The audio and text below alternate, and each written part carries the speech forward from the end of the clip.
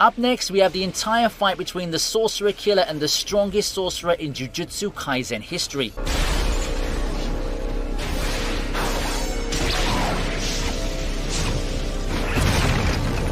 This fight had two rounds and ended with a 1-1 score, but we all know how things turned out for real. During their first fight, Toji overwhelmed Gojo in both speed and smarts to the point where Gojo got absolutely decimated. Now, that shocked fans, especially Gojo simps out there, seeing as in Season 1, Gojo was portrayed as untouchable, and he even said that he could win against Sukuna. But, who knew that there was someone that was able to not only injure him, but stab him in every vital point known to man. Oh, God! In round 2, that's when Gojo made one of the best comebacks in all of anime. He basically resurrected himself using the reverse curse technique and went on to become a maniac. This round was just as hype as the first time they faced off, but Gojo unleashed a secret technique that blew a hole through Toji and beyond. The animation was godly, and even though there were some differences from the manga,